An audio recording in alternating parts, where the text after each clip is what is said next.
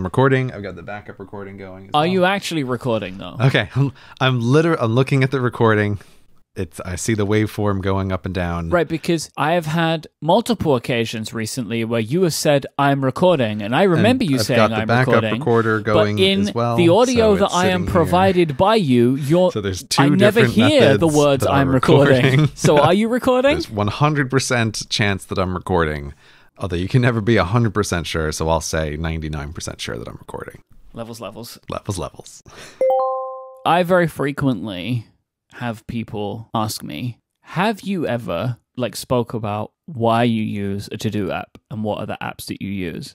And my usual like inclination for that answer is like yes, but like on 20 episodes of Cortex. Like I have no one place that I could even start to imagine pointing you to. Right. And yeah. it's easier now for like when someone says to me yearly themes, I know those episodes now, right? And like we've condensed it over time. So mm-hmm. now on every yearly themes episode, we talk about the themes in the abstract bef- a little bit before getting into the rest, right? Mm-hmm. But what I thought of outside of the original set of episodes and then some that's come since, there are some core parts of productivity like to do apps, email, time tracking, communication, and calendaring. These are things that we talk about all the time. They're very important. We talk about the apps that we use, but maybe not so much for a while have we spoken about why we do these things that we do. Mhm. So I thought for episode 101, we could do Productivity Tools 101.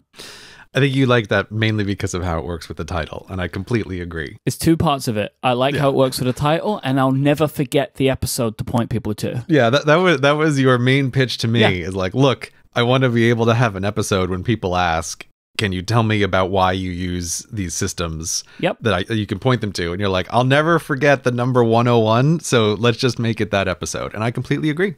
I think probably the one to start with is to do systems because it is the core of productivity, right? Like it's the very central part is your task manager. So I was, thinking about this earlier today, and there is no one true way of being productive, right? There's there's no one answer for everyone. There's no one system that's going to work for everyone. Like each person needs to pick and choose the parts that work for them and the parts that don't work for them and this is the process of figuring out how to manage one's own life is finding the parts that work for you.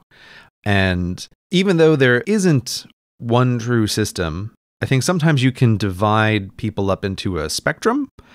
And I think one of the biggest spectrums of how people manage their life is the spectrum of task manager and calendar. Some people are much more on like the calendar is primary and the task manager is secondary, and some people are more task manager is primary and calendar is secondary. I think both of us are pretty heavily on the task manager as foundational side. Yeah. And so I think that like that's why we're going to start here because to both of us I think it's sort of inconceivable of if you were taking someone whose life is disorganized and they're holding up this mess which is their life and they're saying how do I get started trying to get all of this in shape? Both of us would say to do system this is where you need to start. This is where it all begins. And I think part of the reason for me as to why I believe that as strongly as I do is I think people that believe in the to do system as core still use calendars frequently. Mhm. But from my experience of people that believe in calendars as the ruler, don't necessarily even use a task list of any kind. Like just everything goes on the calendar. Um, and just in my experience of people that that run in one of those Yeah. ways, that kind of seems to be the way that things break down. Because I believe both are very important, Yeah. and I wouldn't say equally important, but they I believe are mutually important. Like you should use both, Yes. because they need each other. I think to be able to work effectively. Yeah. But I, like you, believe that the to do system is the core of mm. everything because one of the main things for me is I also am aware of myself enough that I know that no matter how many tasks I set for myself on a day, I, I won't always do them all. Mhm. And one of the great things about a task list of any kind is that you have the ability to move stuff. You see that they're overdue, you didn't complete them. But with a calendar, by and large, it's gone Mm-hmm. once the day has passed. Unless you have a I mean, unless you have a system of checking the previous days, but if you're doing that, then you really ought to be using a task list or to do system of some kind, because at that point, that's the life that you're living. Yeah, I, I, I agree. Like I, th- I think to, to try to really start at the at the foundation of this, of mm-hmm. there was a long ago, long dead now version of Grey who never used a to do system, and floated through life just like "Eh, to do, you know, sometimes doing stuff and sometimes not doing stuff. And eventually, he got to a point in life where he realized he could not manage all of the things that needed to get done.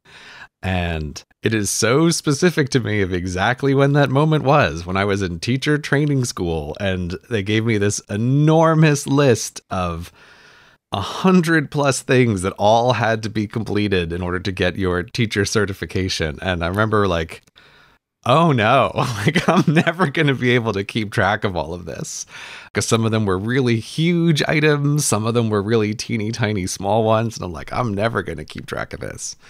And so, one of my very first versions of trying to figure out how am I going to actually get all of these things done was taking this huge list that the university gave me and turning it into a spreadsheet and trying to be like, okay, let me try to break this down in a way so that this is the list that the university is going to use to decide whether or not I become a teacher. But I need to turn this into a list that makes sense for me. Aha. Right. Like this is a criteria that they have. Now let me make it into a selection of things that I need to have achieved. Yes. And even just like wording changes or what do these things mean in my own life? A to do system, if it's functioning well, this is part of the job that it does. Is it's like it's your translation of what the external world is requiring of you and like getting it into a frame that makes sense for you. Everybody's brain is different and you just want to have stuff organized in a, in a particular way. And so like that that was one of the very first times I was actually getting serious about trying to keep track because I knew like I knew me and I was like I am going to totally fail if I just try to do this the way I've done school before of like I'll remember most things, right? Mm. And that's the other big part of it to do system is don't try to remember stuff. I think this can also be a very regular progression for people in life is that you're growing up and the world manages a lot of things for you and you can sort of get by by just remembering things. But like again at some point in life usually past the point when you should have recognized it you come to a stage where it's just like there's there's too many things to remember. You you cannot rely on your own brain to keep track of all the things that you need to know And the penalties for forgetting things start to become real. Yes, yes, they're not they're not pretend penalties like in school where they're like, "Oh, you're going to have a conversation with the teacher and they're going to be very upset with you." And it's like, "Okay, and then what?" Well, then you go back to class, right? um like yeah, no, then they then they start becoming you know, real meaningful, impactful on the rest of your life kind of problems. And this is also the part where for me I started keeping track of a notebook of just like writing stuff down in a notebook and, and referring back to it. People often ask me, like, oh, when you first started using a notebook, like, what was the system? What were you doing? And the answer is there was no system at all. It was just getting in the habit of if there's something in your head, get it out of your head and put it on a piece of paper. And as long as you come back to that piece of paper on some regular basis, you'll start to build up your own kind of system. Like, of course, we spend pretty much all of our time talking about how our apps and devices are the things that we use to keep track of this stuff, but Mhm. pen and paper is the absolute best way to begin. Oh, for sure. Yeah. l- making lists and this is like you know take notes and that kind of stuff but making lists lists of things you want to do lists of things you should do. And that's how i started right? Like i was kind of predisposed to this. Like my entire working life i've always had some kind of to-do list checklist because Mm-hmm. i was perfectly placed for it as a person that is that has a predilection for two things pens and paper and nicely designed apps Oh, right. Of course. Yes, that makes much more sense that this path was much more obvious to you than it was to me. because I wanted to have an excuse to use pens and paper or like OmniFocus looks like a nicely designed application for the iPhone. I'll get Right. that boy in his first banking job that nobody cares about him, but he's got like a 25 pound application that he's using, right? Like, Right, yeah, yeah. that's what I'm going to do. But, you know, so I, I have always found it very easy to start this stuff mm-hmm. because I wanted to use the things that were involved in it. But if you don't come at it from my perspective, and most people don't, they come at it from Grey's perspective, starting in the same places, pen and paper, is is perfect because it removes by its simplicity the complications that any application will give you right? Yeah. Like any half decent application, all of the apps that we'll talk about today, of the stuff that we use, they want projects from you. They want dates and times from you. They want Mhm. notification access. They want to be able to integrate with this part of the system. Like they want so much, and it can seem like a big hurdle to jump over. But if Mhm. you just start by getting a notebook of any kind and a pen of any kind and just writing Mhm. down every day, like these are the things I have to do or want to do, or a combination of the both, you check them all off. And then the next day, you just write that list out again. Like, Yeah. that's the start of any of these types of systems. And no matter what you end up graduating to, and maybe it's nothing, because for many people, this is a perfectly valid way to keep it going, is just to write out a pen and paper list every day. Mhm. No matter what it is you end up graduating to, you will benefit from having spent the time at these real basics. If you Yeah. really don't want to use a pen and paper, any notes app, just like a bulleted list, right? Like Yeah. Google Keep, Apple Notes, they'll all let you make checklists, right? You can just use Yeah. those and it's nice and simple. Yeah, I, I mean, my entire teaching career, when I was teaching physics, I ran all of the organization of, you know, what classes do I need to prepare for, what needs to be done. That was an entirely paper based system. Mm-hmm.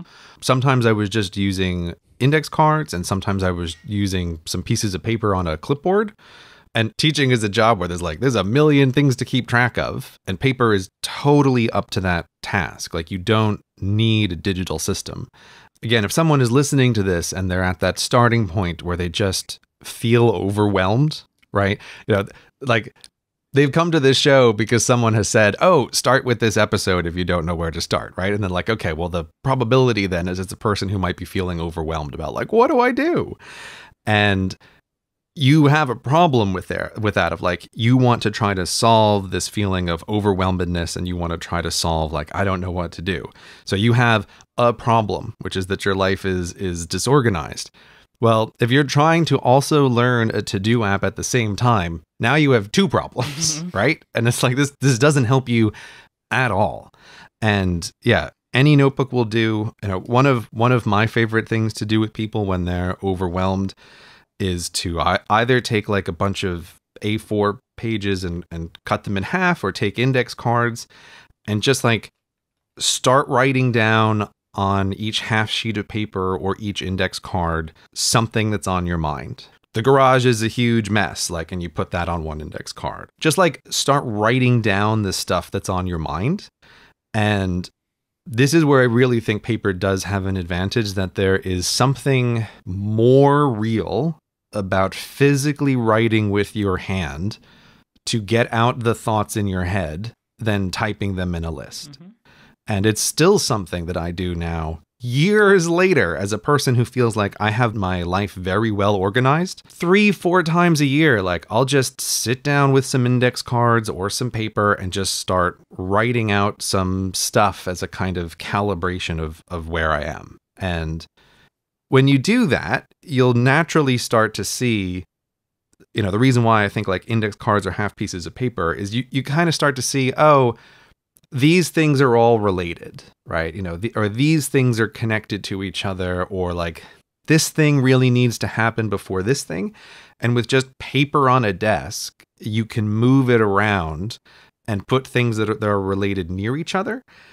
And again, I think that process of physically moving the things in your life around is much more helpful than digitally moving items up or down a list. If you want to feel like you're in control of something, physically moving it will definitely help you. yes, I have power over this task because I can move it anywhere on this desk. This task can't move me. Look how flimsy it is. Yeah, it's just a piece of paper. Yeah, it's it's a it's an excellent point there. So that is the great place to start. And once you've done that, then you can start looking at some of the specifics of okay, you know, how do I want to organize this? And you should almost certainly start with paper lists. But even then, you've now separated the get everything off your mind phase from the how do I want to organize it going forward phase, which is completely impossible if you're just starting with a to do app that you're not mm-hmm. familiar with. No matter how simple it looks, like they all have their weird quirks that paper just doesn't. So I think that's that's really a place to start. Yeah. Starting with a very, very, very simple not to do app. Pen and paper, thoroughly recommend, but if you really don't mm-hmm. want to do that, every device has a notes app. Use the notes app. Yeah. Once you start doing that for a while, I think you'll start to get an idea of to what things feel important to you. So, like one of the things that pushed me to an application was, all right, I like having this stuff, but I want something to tell me to do it.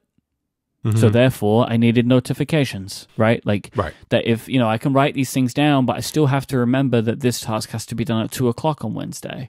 Well, mm-hmm. it, when you start getting to those kinds of areas, that's where you need to start looking for an application of some kind. And there are many, many options. I think it would be too much for us even to try and list the things that we've used.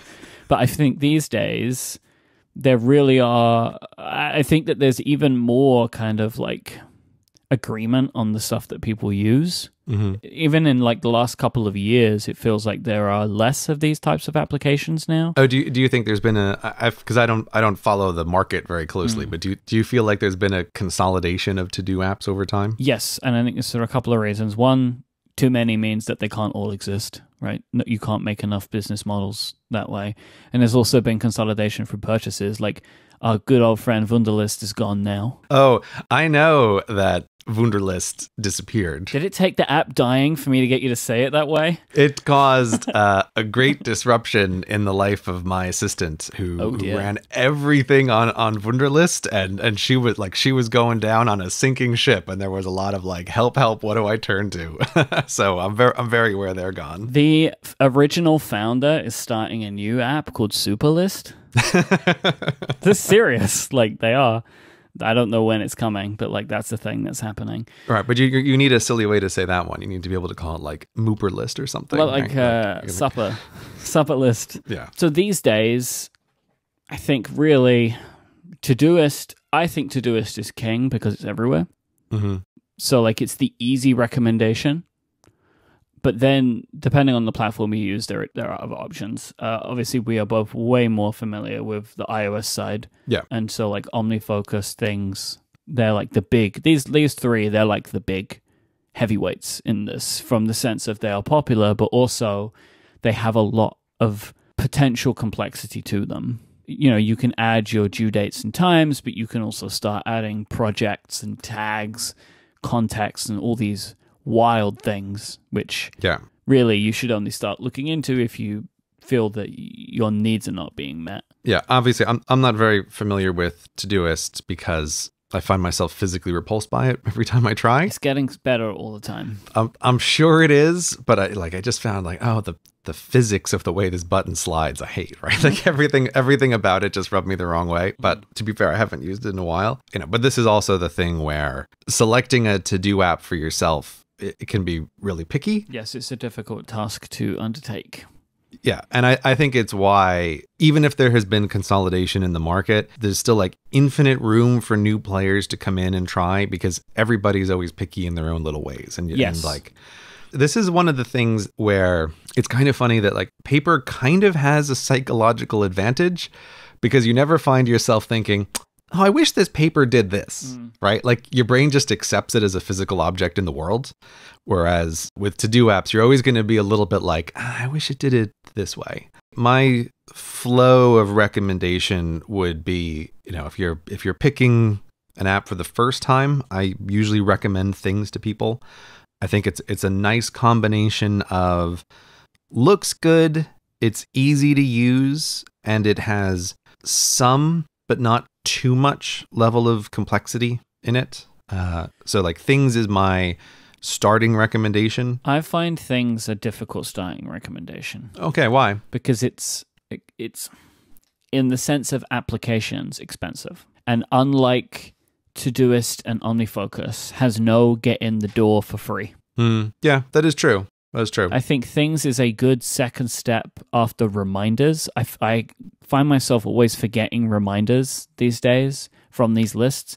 Like reminders has a lot of the basics in it now, which it didn't before. Um, so reminders yeah. is is a, another option for a first step, but I do agree with you. Like things is a it's designed so well, it makes it nice to use. I find that it has some fundamental problems which stop me from using it. Mm-hmm. Like this is something that I've noticed along with like some friends for years. Like this is pretty esoteric, but it's important for me. Like if you have a repeating task, mm-hmm. you cannot complete it before the day it's due. Okay, right. I see what you mean. Yeah, yeah. Right. Yeah. So if I have a repeating task every Wednesday, but on Monday I completed that task, it won't let me check it off until Wednesday. And that's mm-hmm. just like, what are you doing? Right? Like it's such a weird quirk. So there are things like that where it's like that would frustrate me too much. Mm-hmm. And and this is the thing you've got to understand about all these types of applications. Like none of them will work the way that you want them to completely. And it's yeah, about yeah. what level of this is okay enough. Because yeah. all of these applications are built by people with their opinions, and th- this is a very particular part. I would say probably the most particular of all of these, like even more so than email. The to do system, people want it to work the exact way that they want it to work. And nobody wants to work the same as anybody else. Yes, yeah, that, that's that's what I mean by there's always infinite room mm-hmm. for new entrants into the market because I I do think it is literally the most picky software category that can possibly exist mm-hmm. that also a large number of people use and are like i just wish it was a little different this yep. way i guess i i sort of bounce off reminders but you might be right that I, I should update that of like reminders is the place to start if you're willing to pay for a thing that looks beautiful things is a is a place to start because I, I do think things maximizes on the beauty scale yes but it is both of those apps i think once you get the hang of putting your life in lists and you you start to think about the concepts of the repeating tasks and all this other stuff you will know very quickly if you're the sort of person who is going to outgrow those apps and then that's where for me omnifocus sits at the at the top of the list as an extremely heavyweight option mm-hmm. but like you'll know if you feel like this isn't working for me. And Todoist also seems like it has much more flexibility. It's not OmniFocus level, though. I didn't say that it was. Nothing is. You'll know if you outgrow reminders and you're looking for something else. I thought it might be useful for us to talk about kind of like at a basic level what our systems look like. And mm-hmm. so for me, every task that I enter, gets two things, and, and that's the, really the core of my system. So every task gets a due date and time assigned to it, even if I don't really have a set time or date that something needs to be completed, I will just assign one to it. And then I can choose later on if I want to move it. But I think mm-hmm. to myself, either A, when does this need to be done by? Or B, when would I like this to be done by? That's right. every time I start a task, I put that in there because then it always shows up in my list of upcoming tasks in Todoist. Because otherwise, they kind of like sit off on the side and I may forget about them. And I very frequently review what I've got over the next few days and move them around. The second thing that every task gets is a project.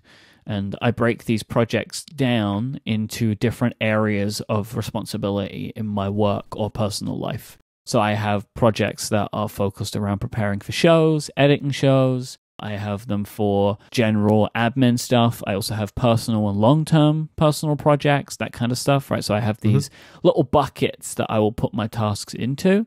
And this just helps me kind of visually see what areas I need to be thinking about.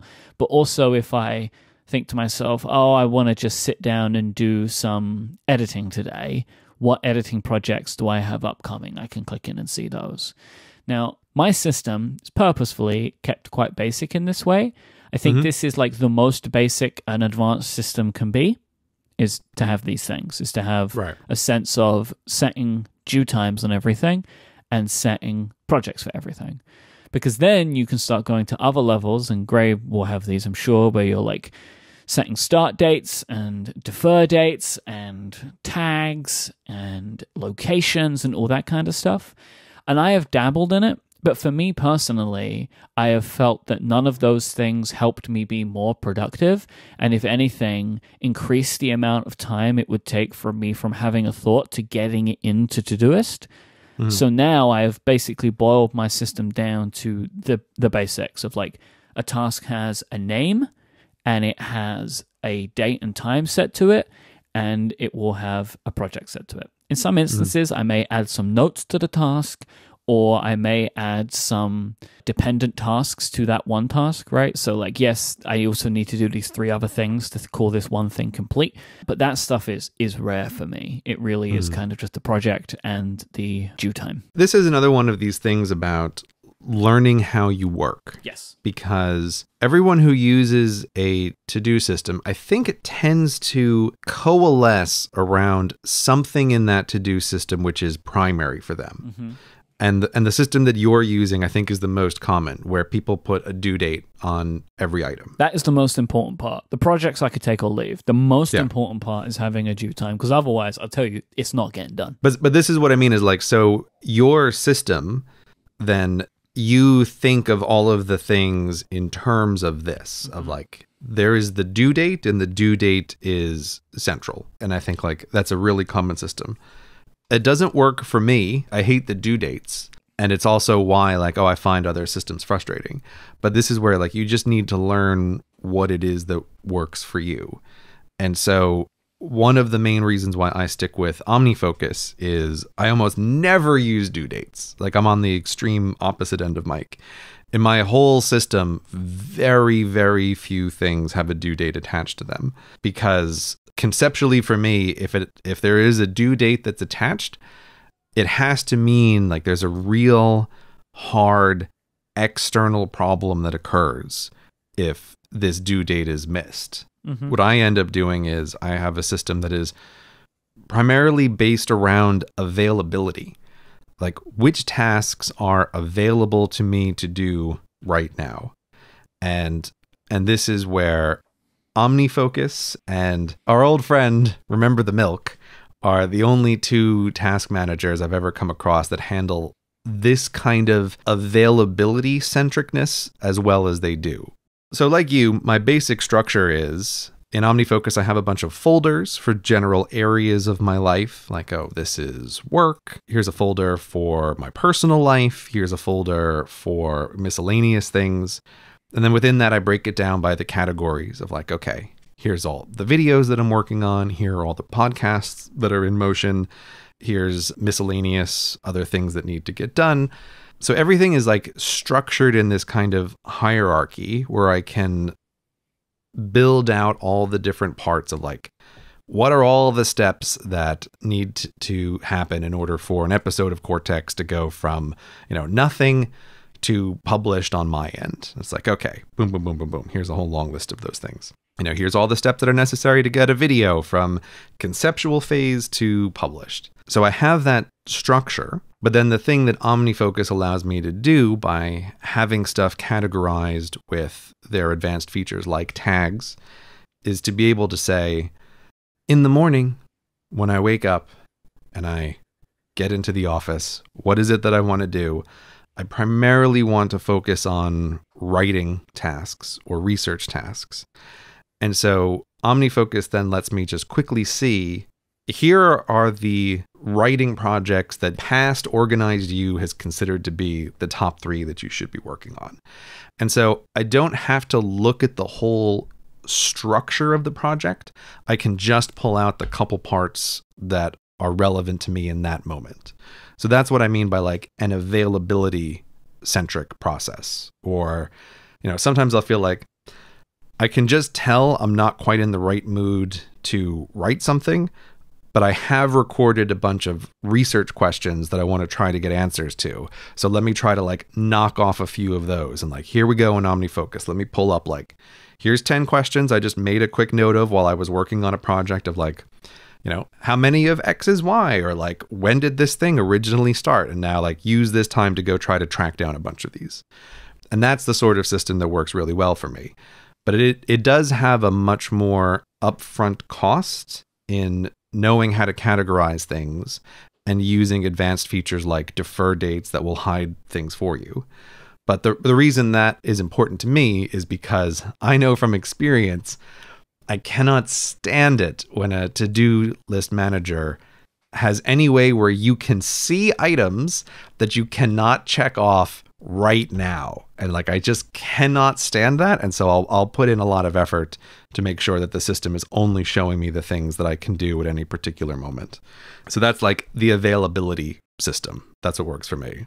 So like your most important buckets are fixed to either times or locations, right? Yeah, the, the, way I'm slicing the tasks is I would say times, locations, and energy level kind of stuff. So I have a few ways where I can look at what are a bunch of work tasks that are easy for me just to knock off right now. Communications clearing is one of these things where sometimes it's like, oh, I have to interact with the outside world. Let me pull up this list of like everything I've made a note on that requires communications and let me just try to clear a bunch of these. And it's like, oh, write an email to this expert about this thing, you know, or, or get back to this person about this thing. And so, like, let me just knock off a bunch of those in a row.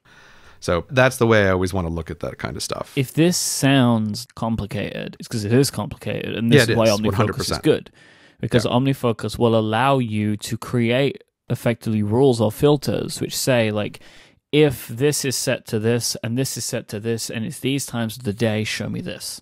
Yeah. And so it, it it's a very complicated system but what makes OmniFocus the best at what it does is if you are the type of person that wants to attach a bunch of metadata to a task, you can do some incredibly powerful things. But it's also why it's not a good starter program. Like it's it's going to have way too much. It's going to really overwhelm you. It's expert level. It really yeah. is expert level. And it's it's also a lot of the stuff that I'm able to do, I'm doing because I have shortcuts in iOS that are assisting me so, like, I'm not interacting with the application directly. Like, I have little templates for this is what a video project looks like. This is what every episode of Cortex looks like.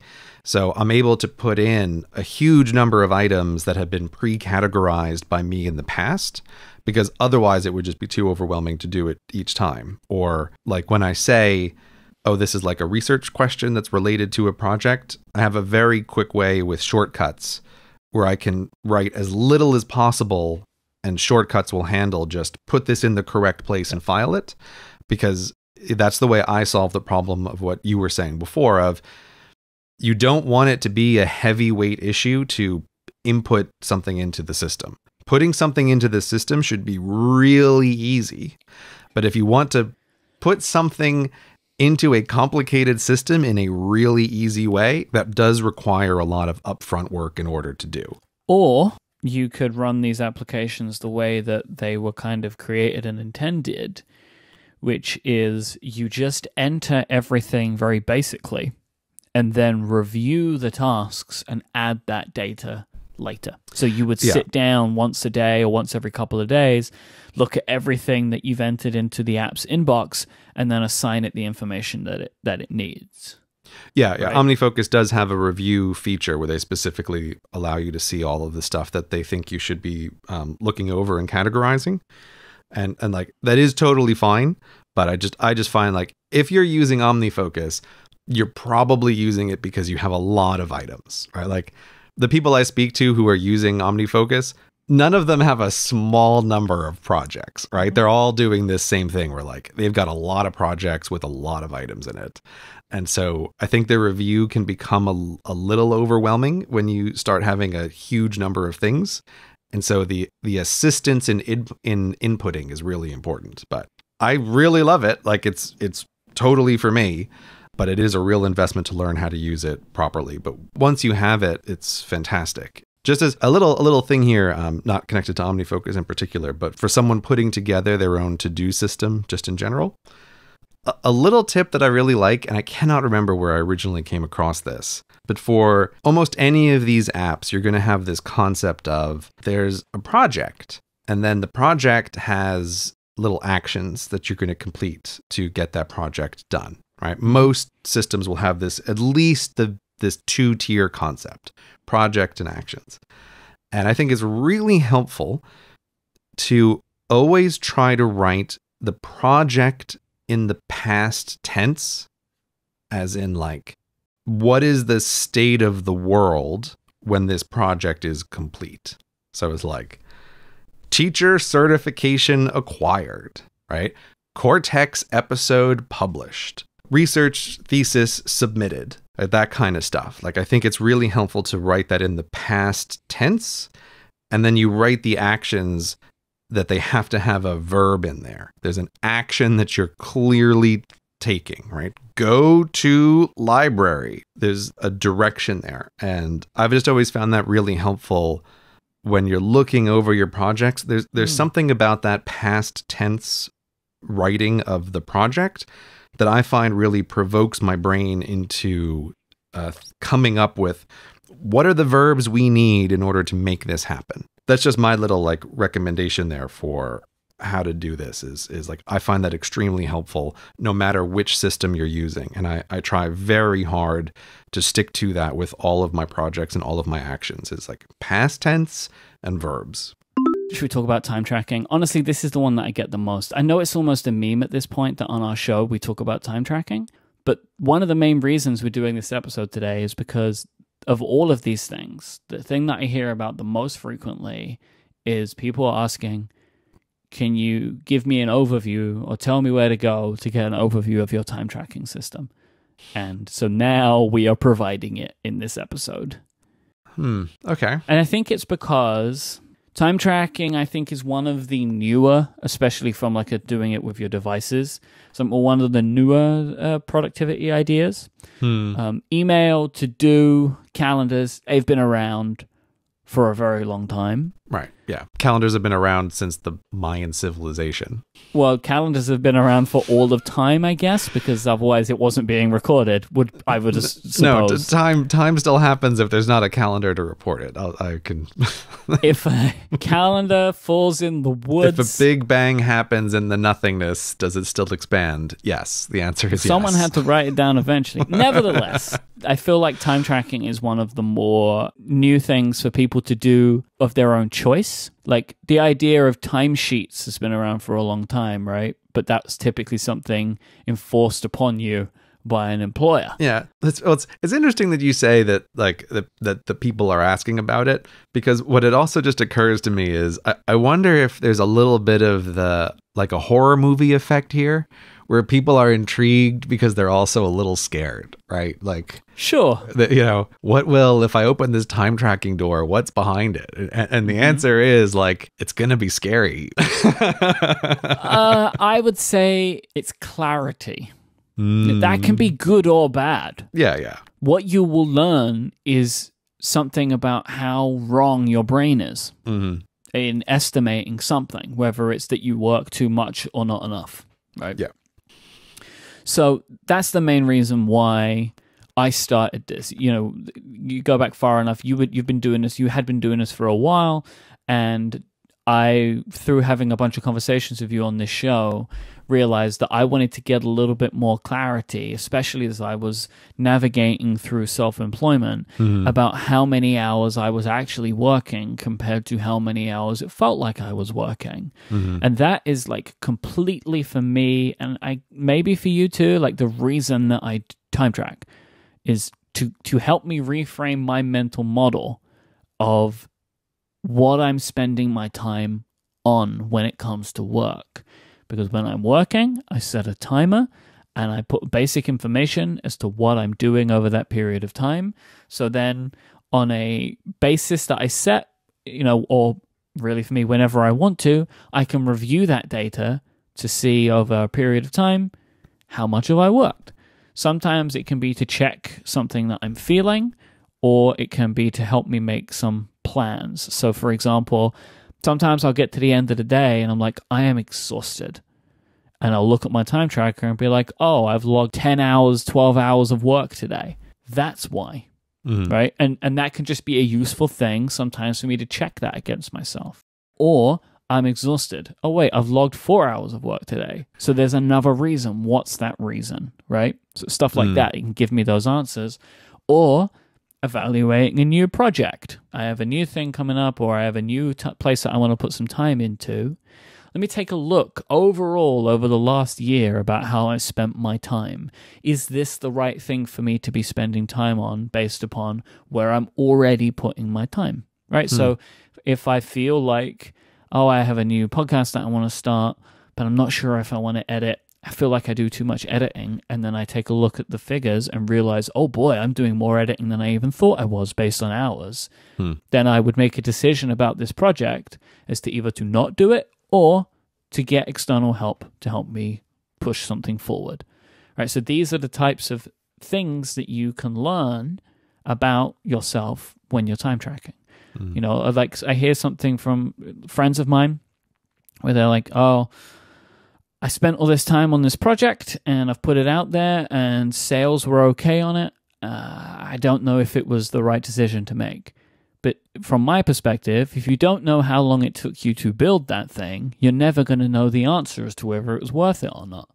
You know, like the amount of hours you put into it, the amount of money you see from the end of it, right? So this is especially important if you're self employed and making things.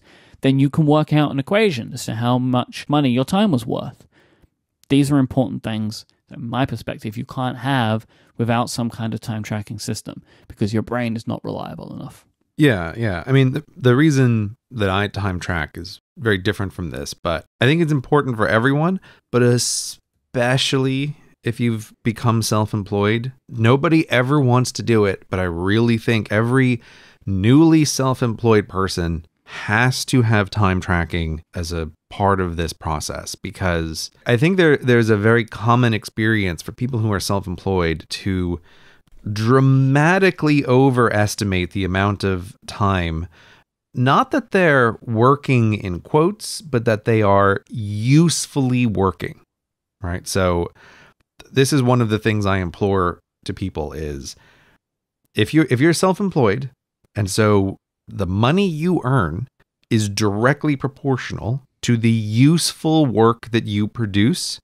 Be really strict about tracking the time that you are actually doing the thing that produces the value.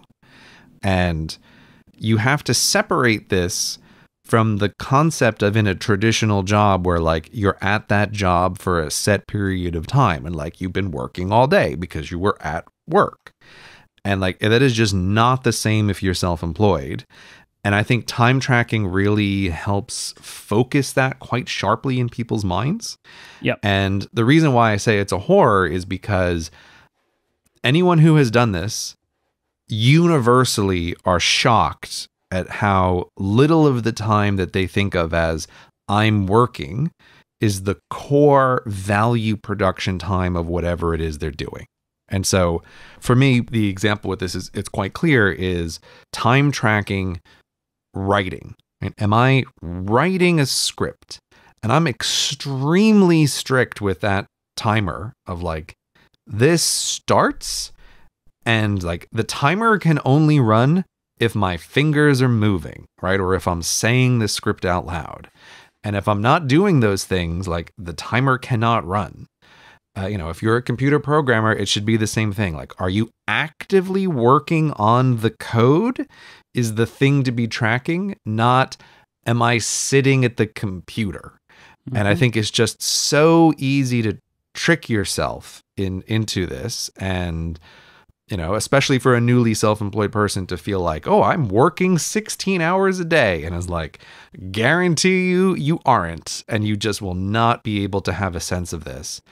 And, and while like all of work is useful to track, I implore people to really focus on like what is the core value production and be super strict about that one because everything else is kind of peripheral around it. And you know in in most jobs you can kind of think about like what is the core thing that really needs to always be done that like has to be done? Back when i was a teacher like what is the core thing?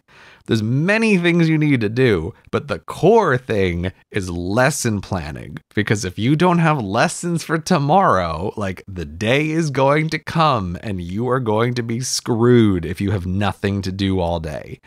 It also clarifies like marking that homework. It can wait, right? Like you can start to use time tracking partly to like sort out the priorities of things in your life. So mm-hmm. I really implore everyone to do this, at least for a little bit. And I'm always suspicious of when people are resistant to it, where they're like, oh, I don't need to do this. I, have got everything under control. And I'm like, nope, that is, I'm not talking to you. I'm talking to the sneaky, lying part of your brain that like wants to get away with stuff when you don't want to actually keep track of things. I, so I will say this though that like a key difference between us that I've been aware of over the years is while I time track both much more than you, so mm-hmm. I, I time track basically every hour that I'm awake, I'm running a timer. With some new small exceptions we can talk about next week, but but generally like I'm always running a timer. But I I only really look at that data on a daily basis of the program that I'm using, which is the same one you're using behind the scenes, Toggl. If you have it in a web browser, they'll provide you like a little chart of how you're spending your time for the day. But that's really all I ever use it for. And so, because I've been time tracking for so long and I don't need to do as much of that like initial calibration as as when someone starts, I'm largely using time tracking as like an intentionality assistant.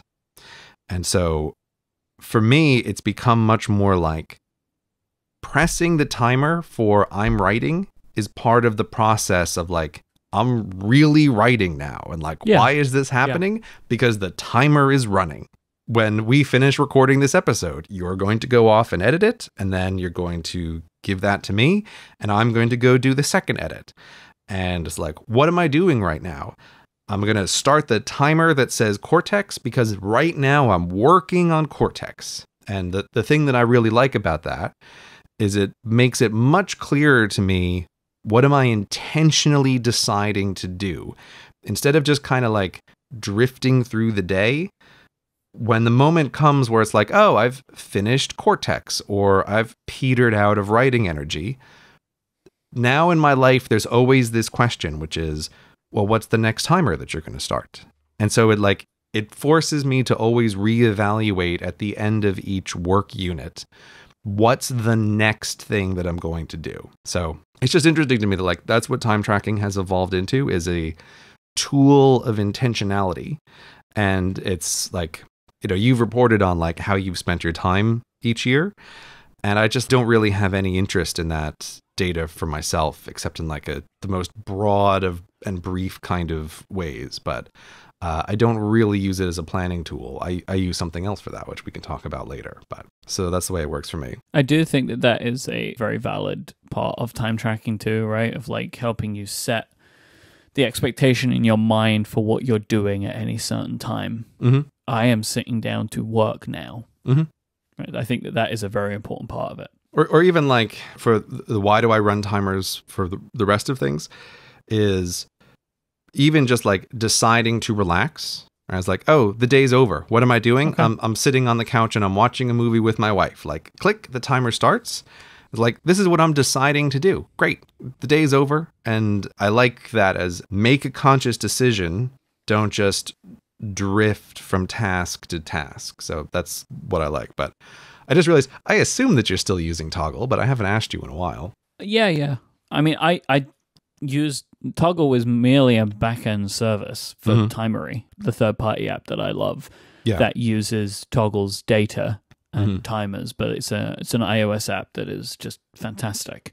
Um, and then on the Mac, I use the Toggl app, which is terrible, but but gets the job done. But that that's what I use, right? And Mhm. then of course we both have some shortcuts that we've created that allow just being able to set things easily. And I use Timery's shortcuts that they've created to add in to existing shortcuts that I make to make that stuff sing.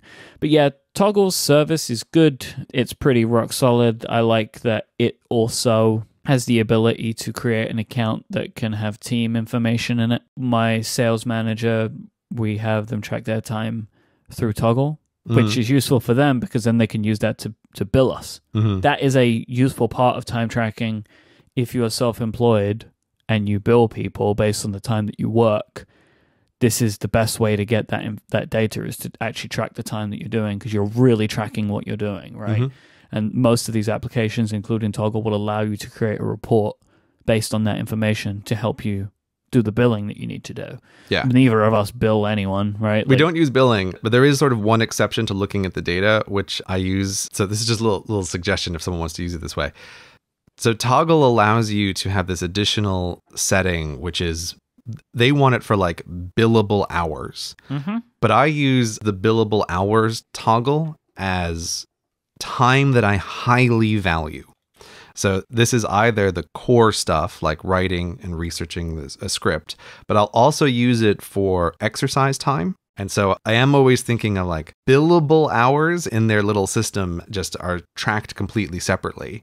And so I always feel like I wanted, I do in a particular day always want to kind of hit a certain number of hours where I feel like these are all the high value activities.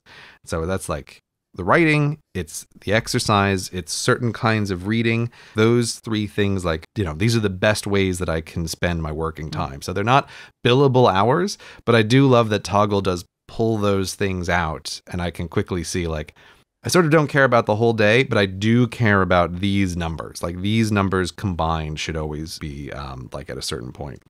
Interesting. Yeah, that's that's how I use the billable hours. I never would have thought to do that. I, I wouldn't use that, but I can see it being a thing that you could use. From a setup perspective, for me, I actually have a pretty similar arrangement to how my to-do system is by design. So when when you set a time tracker, you can give it a description, so you can type in freeform what you're doing, and then you can add projects and tags. Now, I only use projects and tags. I never feel like I need to, to write a description of what I'm doing. And I basically set it up that my projects are the things in my life that I work on. And by and large, they are named the same as the projects in my to do list, Mhm. right? So in Todoist. I'm not like laying this data over one or the other, but it just helps me just mentally keep track of what's being worked on because I don't have to think about like what do I call it in Todoist versus what do I call it in Toggl Mhm. right? So like, you know, I'll have like sponsors, I'll have show prep and all that kind of stuff. It's probably time for me to review these. I would like to actually pare them down a little bit more. And then I also use tags, and the tags are the names of the shows that I'm on. Mm. Because if I am using the podcast recording or podcast editing project, that is almost useless for me unless I'm saying what show it is that I'm doing. Right, because you want to be able to pull out the data per show. Yeah, because it, that can differ wildly. Because like I don't edit every show that I'm on, so if I just had podcast editing and podcast recording, those numbers would be completely wrong, Mm-hmm.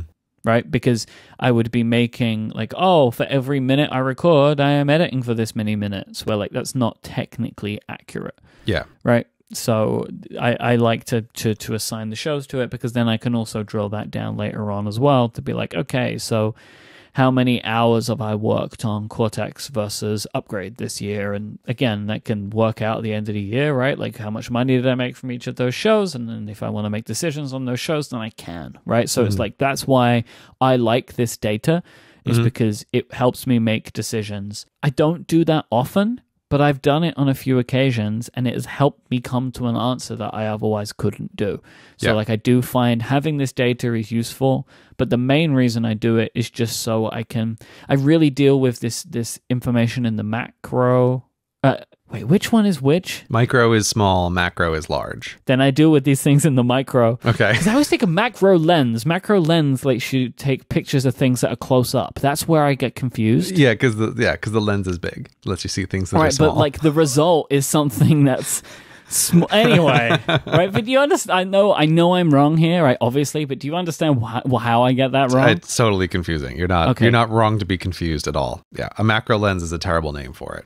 I am typically using the this data to make decisions about like how did I feel today, like you, really, like it's more like today. But I then have this pool of data that exists that I can draw conclusions from Mhm. if I want to. Um, how do you set up your projects and tags system with your time tracking? See, now this is where I'm just the total opposite because my time tracking system is I only use the top level, like tags and stuff. I've never touched it. Descriptions, never written a description. Yeah, see, I've never written a description either. So you're just using like projects then. Here's here's the thing. I'm using projects, and the mm-hmm. reason I use projects is because you can have them show up as different colors in the little pie chart that Oh, I love that. makes. The yeah. colors is so important. Yeah. And so for the videos, trying to hour track the particular videos is not really useful.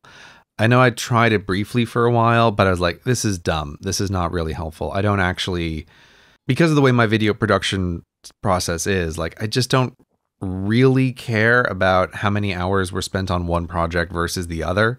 Like, there there just isn't actionable information for me in, in the same way because those projects are largely defined by how interesting I think they potentially are. And it's like if something's interesting and it's going to take a million hours, like, well, that's the way I make the videos. And there's nothing actionable going forward with that. So that's why I only track in extremely broad ways of like, I'm writing, but I don't have sub tags for which project is this or I'm doing video editing right now and I don't do sub tracking for that. For me, the main thing with the time tracking is the colors are really vital. So it's like Mm. I use dark blue for the high value work time, and I use light blue for things like administrative tasks or, you know, like email or any of that kind of stuff. I use my least favorite color, purple. What you got against purple? It's just, it's not a nice color. Hmm. But I use purple specifically for what I think of as like transition periods that need to happen, but are also kind of danger zones. So it's just like when you wake up in the morning, how long is it before you actually start working? Right. So, like, I have a little timer and it's called boot up. It's like when I wake up in the morning, like, I hit the boot up timer and that starts adding like this ugly purple to the timer of my day. And so it provides like a little incentive always of like, you want the least amount of purple.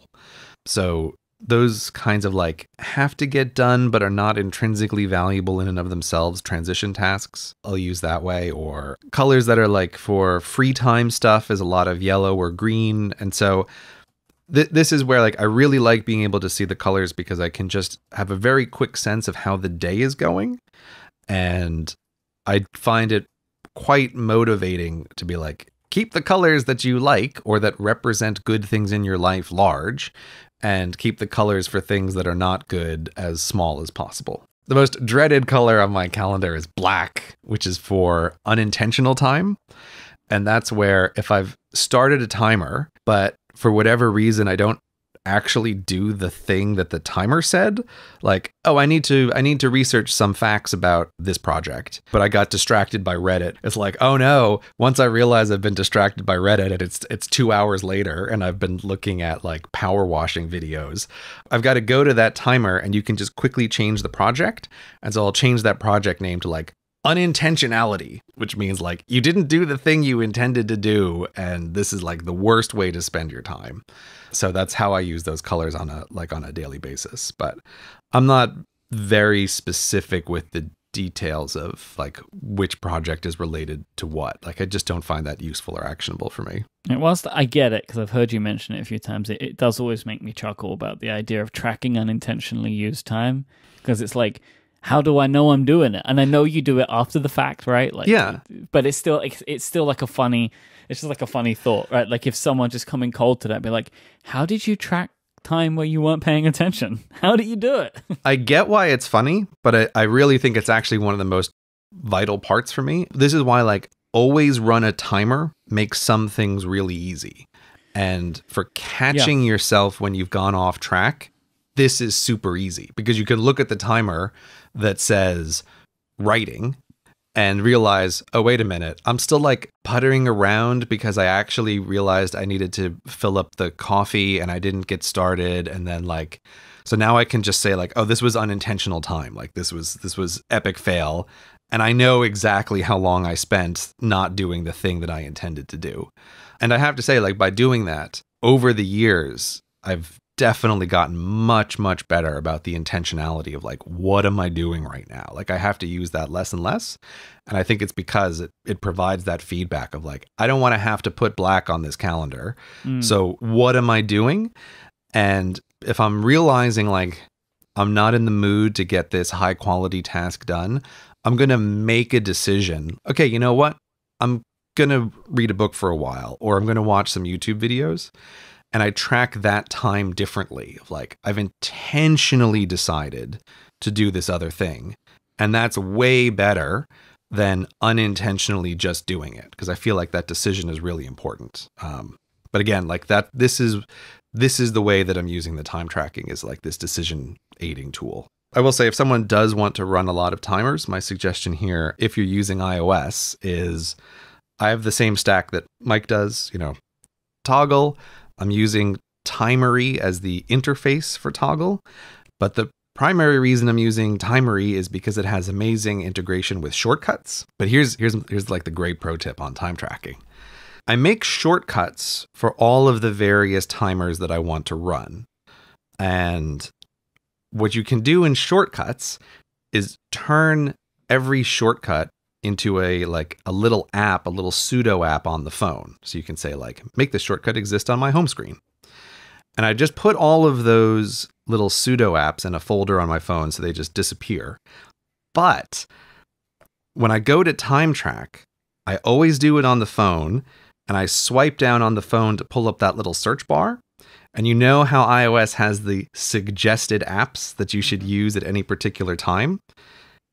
Because the, you now have all of your little timers are pseudo apps, I've found that iOS actually gets pretty good at guessing hmm.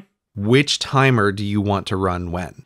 That is clever. Yeah. So I, I would say, like, probably at this point, 90% of the time, if I pull down on, on the phone to like pretend like I'm going to search, one of the top three pseudo apps is the timer that I want to run at that moment. Mm. And so it's great. There's only a couple of other like timers that I use super frequently that I put in the little widget, uh, you know, to slide over with Timery. But that's what I do for running like a bunch of timers if you also want to be the sort of person who's always running timers. So that, that works really well for me. And something that I like about Timery and its shortcut support is you then have the ability to add that into the flow of another shortcut. So, mm. for example, I have a shortcut that's called Show Prep. And when I tap it, it asks me, What show are you preparing for? So I would tap, say, Cortex, and it will open the Cortex Google Doc for me and also set a time tracker for preparing for Cortex. Mm. Or I have another one which I run to just like get my phone ready for when I'm recording, to like set it on do not disturb and stuff like that, make sure the volume's down, all those things. Mm. But it will also look at my calendar and set a recording timer with the tag, the name of the next upcoming event on my calendar, and I have the events named just right. so it will say, for example, upgrade. It's just the name of the calendar event. I don't need it to be anything more than that. So then it just adds the tag of the word upgrade, which is the same as the tag in my time tracker. So it can just pull that data in, throw it into the tag field, and then it's all set. Mm-hmm. It's little stuff like that. You play around with it, but I like that. So I like building my time trackers in as just automatic parts of a shortcut, which will enable me to do the work that I'm trying to do at the moment. Mm. So I like that. Communication. So we spoke about email, but you know, there's more communication in email. There's been a lot of communication apps that have been created to try and get rid of email. Right. I mean, Slack is the main thing here, I think, for work communication. then you've got messaging apps, right? Yeah. So iMessage, that kind of thing is like another part But the only reason I really wanted to talk about the communication apps today is to highlight something that you imparted upon me, which has been very useful in many of my creative projects with people that are also my friends, which is uh, conversation silos. Mm-hmm. So I really just wanted to mention this again today as like an important thing to think about as a like productivity philosophy thing, especially if you work with somebody that you also have a friendship with, which I think is something that lots of people are doing more and more these days. And that is the idea of having multiple places where you talk to the same person, but you talk about work in one place and everything else in another. So for me and Grey, we have now three places where we talk. So we have iMessage, Mhm. where by and large, iMessage is we just talk like friends, unless, and we're both pretty good at this. Like, if something is urgent, we know we can reach each other always by iMessage, Right. right? So, like for example, if when we record today, I need if I needed to start editing immediately, and it's two hours later and I don't have your audio, the place that I'm going to message you is iMessage because it's an urgent communication and it's most like I would expect you're most likely to be looking at iMessage than Slack, right? Mm-hmm. But by and large, for all work stuff related to the show, we will talk in the Relay FM Slack. And then we also have a Slack for Cortex brand, which Right. is everything else related to our business together. Yes. Yes. And the value in having these silos is it means that work and personal do not get intermixed of each other. And Yeah. to maintain a friendship when you work with someone, I find this incredibly important to make sure that you're keeping those things separated so that you can have those spaces that are safe. I think that one of the importance of siloing is you don't want to get an iMessage from your friend, but before you're able to see the text preview or whatever of the message, to start to get a Pavlovian response of, "Oh, is there some problem with the work?" Right? Or is is there something that I like I need to handle right now? And so by for the most part keeping the conversations separate, you avoid that constant intermingling. And I also think it's good because it allows you to be able to have a business conversation in the business environment that leaves your friendship at the door. And you can just say, like, okay, we got to make some decisions about this thing. And I think it's really good to be able to separate those those different aspects of like what is the relationship between these two people because it can get quite muddled up. So yeah, I'm I'm always in favor of siloing conversations if possible. With communication systems, you know, there are a lot of tools. I think this always ends up being very specific to the person and what their communication is is like. So I don't have a, a lot to say on here, except yeah, just be intentional about which tool are you going to use for which kind of communication. This is not as deep as the other things in the show, but like that piece of information I really find to be quite important to people working today. Mhm. because this can be like with your colleagues. It's very normal to become friends with people that you work with.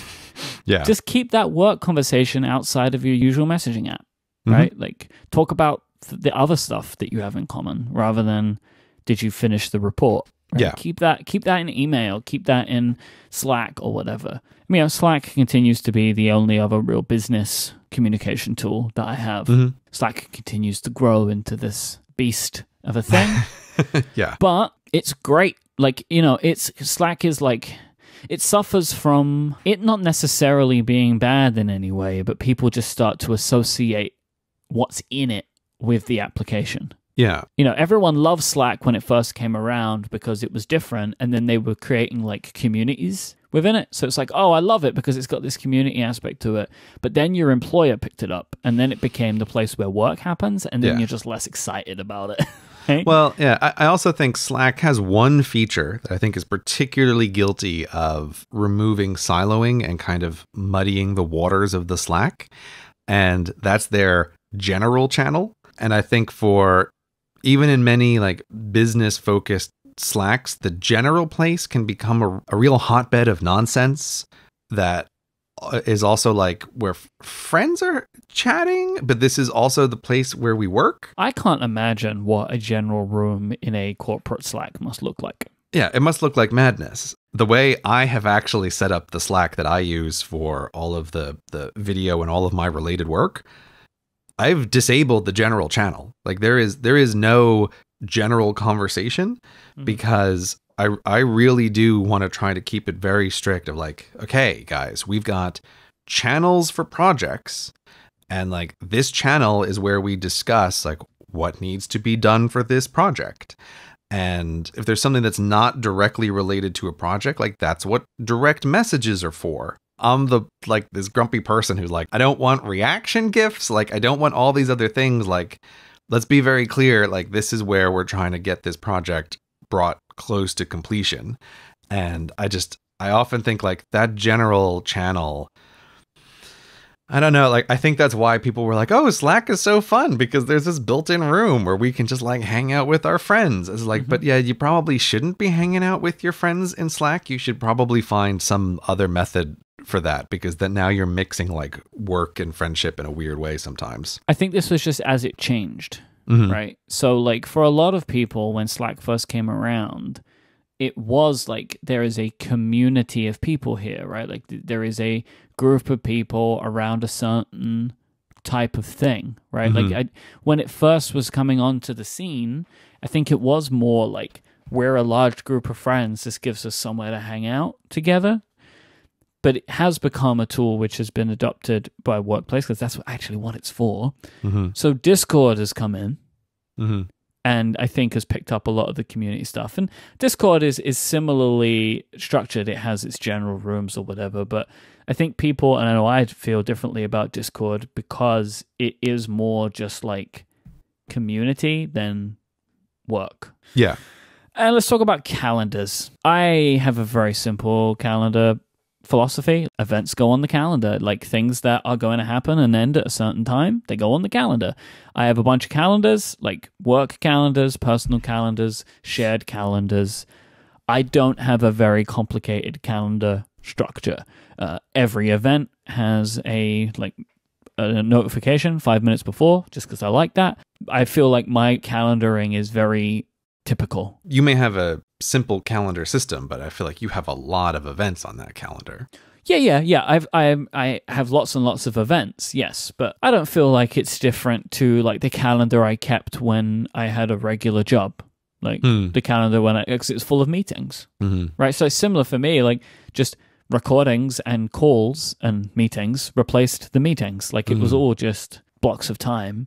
But I don't really do anything particularly different. I feel to the average person who uses a calendar, but I know that you you have some different uses for your calendars. Like you have specific calendars that you only look at at specific times and stuff like that. So I think that's where I'm different. Like all of my calendars are enabled. Yeah, yeah. I, I am very much not a not a you know talking about the spectrum at the beginning. Like I don't use the calendar in in the way that many people do. In some ways, the calendar for me has two totally separate and unrelated functions. The one function is for my one calendar that I call changes, which basically means any interruptions in what would otherwise be my totally internal life, right? Of like, oh, here is a meeting that you need to go to, or there's going to be a conference this week, or you have to do a call with this person at this time.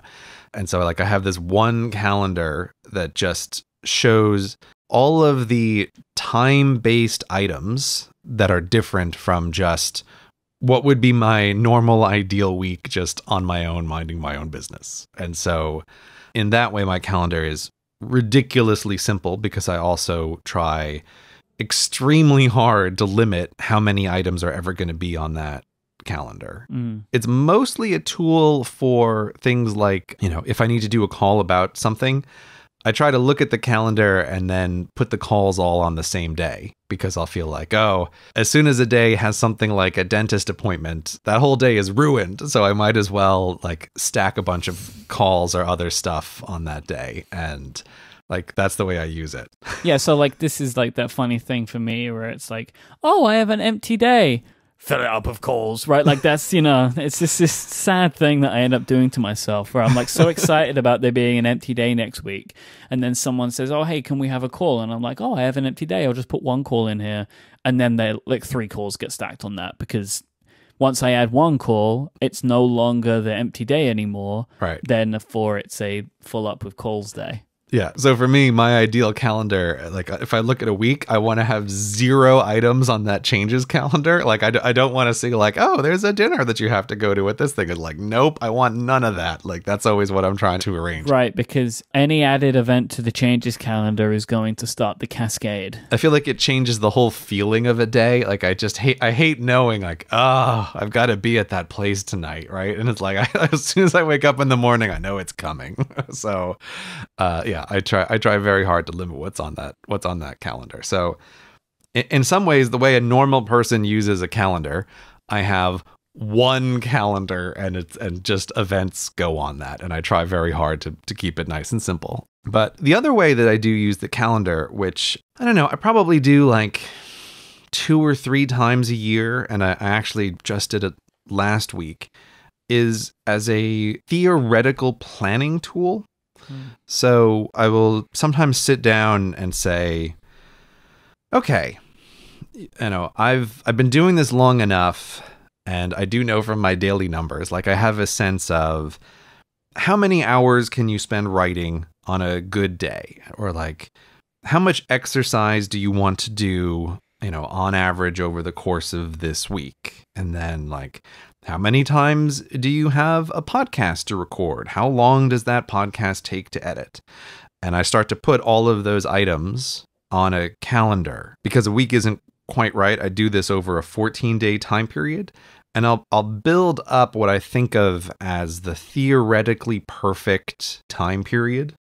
And it's much more that which I use to try to make decisions about what do I want to do or what do I not want to do or if I'm going to take on a new project, where does that project fit in here? Like what am I going to take time from? And how much downtime do I want to have or you know, like reading is an important thing for me, but I always kind of put it off. Where should reading go in my life on on like what I would imagine to be like, oh, the, this would be two weeks, and if I followed this calendar perfectly, I would feel like I could not have done better in in life. And I think people will hear this, and what what they'll hear is that I've scheduled my time, but that's not really correct because I'm not a calendar person. I'm not using this as here is the regime that I must follow. It's much more of just an evaluation of you only have so many quality hours in the day. There's only so many things that can be done. And just seeing how does this fit together over a longer period of time. And this I find just a really useful process. And like the broad outlines of it doesn't really change all that much because, you know, I know the rhythm of my own life that I'm most productive in the very early morning and in the evening time and like afternoons are sort of a more difficult downtime. And like I, I know these rhythms, but it's really useful when just thinking about what am I focusing my time on to do this theoretically perfect week. And I always find that an incredibly valuable thing to do. And especially like with recently, how there are many things that will have impacted my theoretical schedule to sit down and be like, okay, let me think through mm-hmm. going forward. What do I want the weeks to look like? And so I don't do that often, but that is where I use the calendar as a kind of time planning tool. And I don't stick to it. It's not a regime. I've never found the whole like set a schedule for yourself advice to be useful. My brain just does not work that way, which is why I use more task focused system.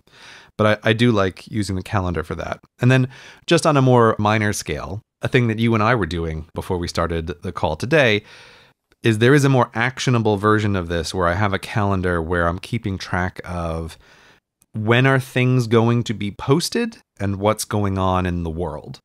So having a rough sense of like you know, when do I think the next video is going to go up? And, you know, when is a Cortex episode going to go up? Or what else is going on in my life around those times? Or like, what holiday is it? Or all these kinds of things. So I do have a sort of broad posting planning kind of schedule. But obviously, because of uh, the way I work, none of those things are certain, but it's still useful to be able to try to keep things from overlapping too much or just being aware of oh there's a big event that's planned for this week that's probably not a time where you can even conceive that you're going to post something so mm-hmm. that's the other way that i use a calendar from a calendar tool perspective i'm all about Fantastical. Yeah. Is there any other tool that's useful if you have an even moderately complicated calendaring system? No. Fantastical is like the one true calendar app, and that's the one I use mm-hmm. too, for sure. I'm I'm a big, big fan of it. They have all of the features that I'm looking for. I've I've really been happy with their newest version, like with the new iPad app and stuff. Like Oh, it's great. It's, it's so really, good. Really very good.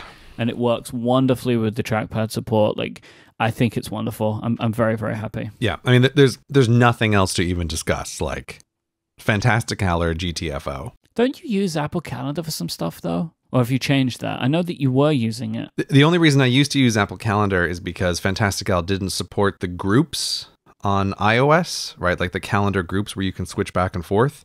And so uh-huh. I used Apple Calendar. I set it a particular way to be an alternate group that I could quickly look at. But now that Fantastical has the calendar groups that you can toggle on and off on iOS, like I have no need for Apple Calendar. Like, goodbye. I'll never see you again. oh, so that was, I guess, productivity 101, right? Like, we're done now. That's all of it. Everyone can go ahead. Just go be productive now. We've given you everything we know. Fe- feels like we did a lot of it. I, th- I think so. Like, I feel, I feel like we have given the complete overview that I wanted to. On our next episode, we're going to move some of this stuff forward a little bit and also relate it to a video that you just produced called Spaceship You, which is really excellent. Um, if you haven't seen this video yet, you should before the next episode. But I want to kind of talk a little bit more about that idea in general. And it's also kind of like relating to just working from home again, as like coming back to that. Mm-hmm. So I think there's some really interesting themes in there that I want to explore and also check in on how we're both doing. Mm-hmm. So go and watch that video. A link will be in the show notes and uh, we'll talk about it next time.